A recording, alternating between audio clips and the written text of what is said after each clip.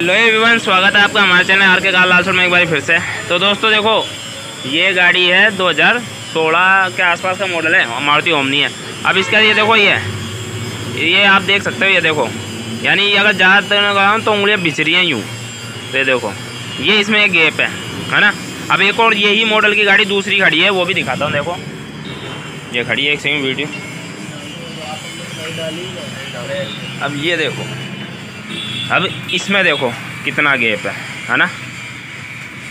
अब ये ऐसा क्यों दोस्तों? क्योंकि ये गाड़ी चलती है सवारी में और वो गाड़ी चलती है स्कूल के बच्चों में मतलब ज़्यादा लोड में। अब देखो ये इसका दे गैप दे दो। जबकि ये भी वही मॉडल है उतनी ही पुरानी ये गाड़ी है उतनी ही यानी रनिंग इतना ही होगा इसका भी है ना? ये देखो। इसका शोकर देखो कितना गैप है ये देखो। अब ये गेप अपन जैसे मान लीजिए वो गाड़ी बच्चों में स्कूल के बच्चों में चलती है मतलब लोड भर के चलती है वो गाड़ी तो अब उसमें क्या करना है तो ये गेप यानी बराबर हो जाए यानी उसमें भी ये गेप हो जाए यानी वो गाड़ी में भी यही गेप हो जाए तो उसके लिए क्या करना हो मैं आपको दिखा देता हूँ अच्छे से। जो अगर लोड में चलता है तो उसको करना है ये काम। तो चलो मैं खोलता हूँ फिर दिखाता हूँ। दोस्तों मैं आपको पूरा प्रोसेस दिखा रहा हूँ। हाइट के लिए और भी कुछ जुगाड़ है। और भी कौन सा जूत तो दोस्तों देखो इस तरीके से पूरा शोकर खुलवाना है पहले। और देखो ये प्लेटें लगेंगी, ये। ये एलुमिनियम की प्लेट है, ये देखो। एलुमिनियम की प्लेट है, ये यहाँ पर लगेंगे स्प्रिंग में। ये नीचे स्प्रिंग में लगेंगी। इससे ये क्या है, यानी कि ये अगर जैसे ऐसी प्रॉब्लम आए ना, जैसे मान लीजिए यहाँ से ये पत्ती है ना, ये नीचे से, ये कट कट आवाज़ करने लग जाती है स्प्रिंग। कई बार दर्शकों में आवाज़ भी करने लगा तो भी ये प्लेट डालने से फ़ायदा हो जाता है। तो अभी देखते हैं, मैं देखो देखो, लगा लेते हैं तो भैया को, मैं थोड़ा सा इनके, फिर आपको दिखाता हूँ, देखो।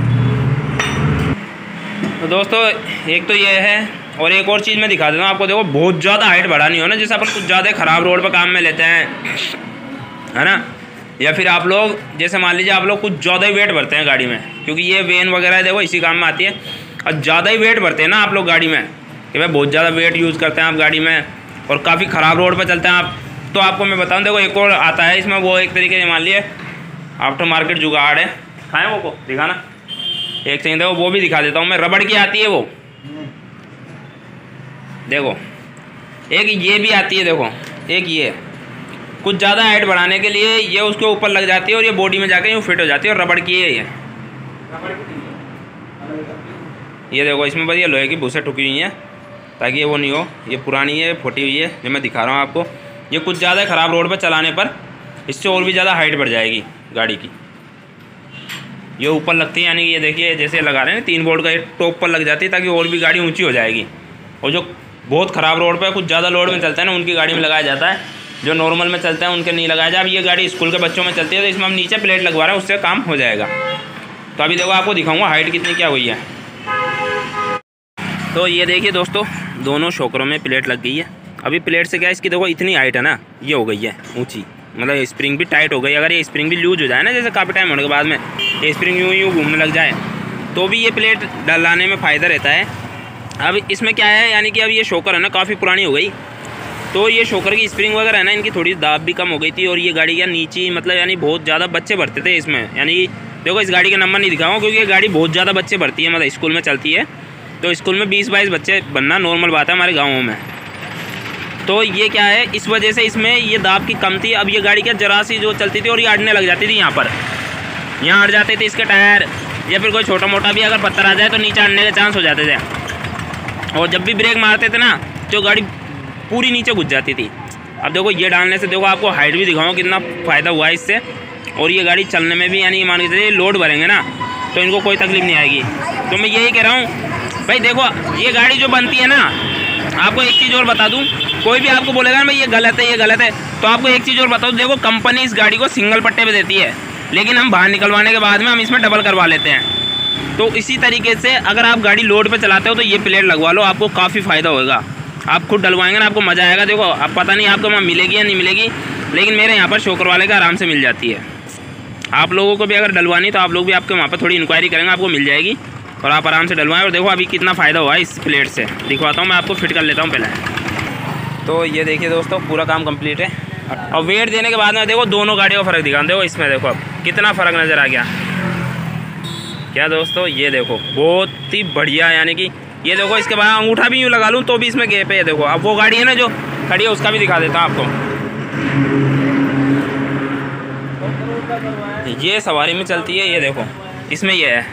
और इसमें अगर ये अंगूठा लगा दूँ तो फिक्स हो गया। यानी है ही नहीं, यानी अंगूठा लगाने पर भी ख़त्म है इसमें। ये है। अब उसमें हल्का सा ज़्यादा हुआ है देखो अब। ये देखो। ये यानी अंगूठा लगाने के बाद में इसमें गेप है देखो। यानी अब इसमें यह है, ये अगर लोड भी भरेंगे ना तो इनमें कोई परेशानी नहीं आएगी। प्लस नीचे अगर ये कोई कच्चे रोड में चलते हैं या कोई खड्डे वाले रोड में चलते हैं तो इसका चेम्बर अड़कर इंजन, यानी चेम्बर अड़कर ऑयल लीक होने का जो है ना वो काम, वो भी इसमें ख़त्म हो चुका है क्योंकि इसकी गाड़ी की हाइट कम से कम इतनी ऊँची आ गई है। अब इससे क्या कई फ़ायदे हैं इस चीज़ से? अब ये इन्हों को शोकर भी डालने की ज़रूरत नहीं अब ये दो साल तक शोकर ये ही चल जाएँगे, यानी साल, दो साल तक आराम से चलेंगे शोकर। अब और जगह पे क्या होगा? आपके नए शोकर डाल देंगे, सब कुछ डाल देंगे। ये मैं देखो, एक तरीके ये आफ्टर मार्केट काम है ये। कंपनी तो इसको रिकमेंड नहीं करती। है देखो, मैं आपको बता दूँ। पर आफ्टर मार्केट भी किसी ने दिमाग लगाया तो अभी तो बनाए ना चीज़। अगर आप शोकर भी नए डाल देंगे तो आपको ये स्पेस नहीं मिलेगा। शोकर डालने बस ये ये चारों उंगली घुस जाएँगे और ये पाँचों घुसाएँगे ना। तो ये जो स्पेस है ना, ये वाला नहीं आएगा, सिर्फ़ पाँचवीं उंगली घुसाते अड़ जाएगी। जबकि शोकर बिल्कुल भी नहीं डाले, सिर्फ़ एक प्लेट डालने देखो कितना गेप आ गया। ये पाँचवीं लगा दे तो भी देखो। अब वो गाड़ी ओरिजिनल है। इसमें देखो। एक मिनट सरक ना देखो, ये देखो। इसमें चौथी उंगली यूँ पाँच भी लगाते तो टाइट हो गई। मतलब ये तो इसका ओरिजिनल हाइट है। ये इस बाइक की गाड़ी है। और ये देखो प्लेट लगाने के बाद में इतना फ़ायदा है। वो गाड़ी चलती है स्कूल के बच्चों में, ये चलती है सवारियों में। तो उसमें ज़रूरत है, क्योंकि वो काफ़ी वेट लेके चलती है। तो इसी तरह अगर आपको भी आपकी गाड़ी का, जैसे मान लीजिए, आप गाड़ी लोड पे चलाते हो और वेट, आगे से गाड़ी की हाइट बढ़ानी है ना तो आप ये प्लेट डलवा लें दोस्तों, आपको इतना प्यारा रिज़ल्ट मिलेगा। और आप अगर कच्चे गाँव के एरिया में चलते हैं तो आपको और भी फ़ायदा होगा उससे। और आप जब भी ब्रेक लगाएँगे तो गाड़ी आगे से यूँ नीचे नहीं घुसेगी। तो ये देख लीजिए, ये मैंने आपको बता दिया, इस तरीके से आप करवा सकते हैं, पूरा प्रोसेस बता दिया, भाई शोकर खुलवाना है और इस तरीके से प्लेट डलवानी सिर्फ़। और आपकी गाड़ी दोस्तों, जैसा कि आपने देखा, मैंने वीडियो में जो वो प्लेट डाली ना उससे इतना फ़ायदा हो गया है, यानी इतना फ़ायदा हुआ कि गाड़ी की काफ़ी हाइट बढ़ गई। तो अब जैसे कि मान लो दोस्तों, कोई आपको बोलेगा गलत है ऐसा वैसा कुछ। लेकिन आपको एक चीज़ मैं बता दूँ, देखो, जिस तरीके से हम पीछे ही कबाड़ी में जैसे नीचे हो जाती है, गाड़ी जब झुक जाती है जैसा हम उसमें दम लगवाते हैं ना पट्टे में, और गाड़ी की हाइट हो जाती है, उसी तरीके से ये एक तरीके से मान लीजिए आगे के शोकरों में दम लगाने का सिस्टम है बस।